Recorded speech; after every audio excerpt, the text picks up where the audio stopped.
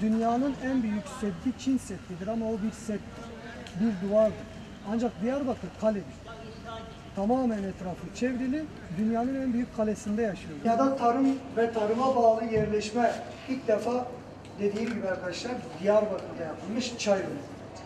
Ve bununla birlikte Dicle, Fırat, Nil, e, Asi nehirleri gibi nehirlerle e, sulanan e, ova ve çok verimli araziler.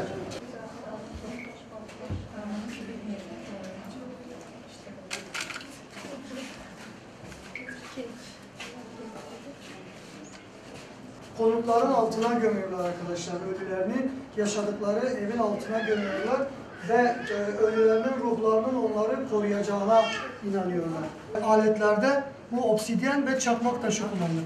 Obsidyen çakmak taşından daha keskindir ancak çakmak taşı da kullanılıyor. Krem olan çakmak taşı, siyah olan obsidyen. Kireç taşı, sütunlar ve bazalt taşı. Diyarbakır mimarisini şekillendiren asıl unsur bazalt taşı şöyle bizleri e, peygamberlerine dönük olarak karşılamak istiyorlar.